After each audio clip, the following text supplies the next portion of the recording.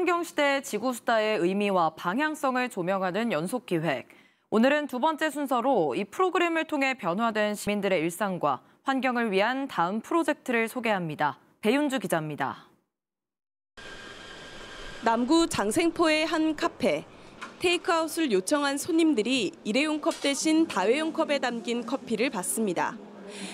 지난 2022년 지구수다 시즌3를 통해 제작된 도돌이컵인데 일정한 보증금을 내면 받아 계속 재사용할 수 있습니다.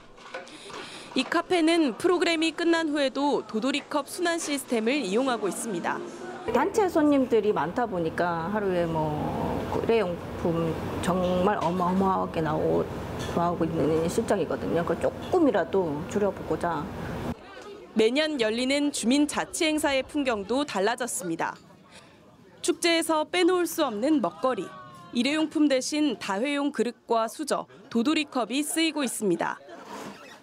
각종 행사 때마다 산더미처럼 쌓이는 플라스틱 쓰레기를 줄이기 위해 북구 주민자치회 행사 최초로 행사장에서 쓰이는 모든 식기를 다회용기로 바꿨습니다.